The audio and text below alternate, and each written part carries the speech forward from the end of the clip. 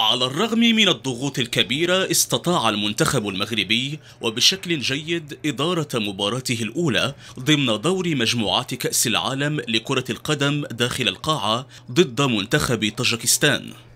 الإيقاع كيفاش نجريوه وكيف جبنا ذاك المباراة في ظل هذيك الظروف. فهنا هذا هو المهم عندنا. كيفاش كوتشينا كيفاش اللاعبين خرجوا راسهم من الضغط. هذه هي المباراة اللي كانت شوية متخوف منها لأن ما عارفش بزاف على طاجيكستان. وشفتوا أنهم لعبوا بدون مركب نقص زادوا بالحارس باغيين غير يلعبوا باغيين يديروا غير نتيجة وهذه تتكون صعيبة وصعيبة بزاف آه، علينا. لكن المباريات آه، يعني القادمة شفنا جميع المنتخبات وغادي نهيئوا لهم بشكل أفضل إن شاء الله. المنتخب المغربي انتصر في هذه المباراة على خصمه الترجكي بحصة أربعة مقابل اثنين. كنا عارفين أن المباراة دو صعبة بحكم أن المنتخب الطاجكستاني بحال يلعب في الأرض ديالو وقدام الجماهير ديالو.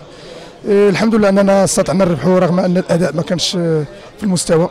يعني الحمد لله المهم هو لي تروا بوان. غنصحوا الأخطاء اللي درنا في هذا الماتش إن شاء الله بإذن الله. حيت بغينا نمشيو بعيد في كاس العالم ما خصناش نديروا شي أخطاء داروا في هذه المباراة.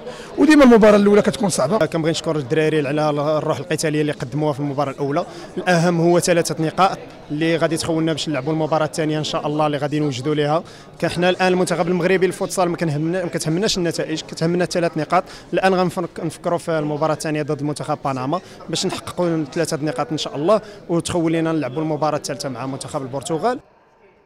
وسيواجه المنتخب المغربي في مباراته الثانية يوم التاسع عشر من هذا الشهر بتشقند منتخب بنما الذي تعرض لهزيمة ثقيلة أمام البرتغال بعشر مقابل واحد.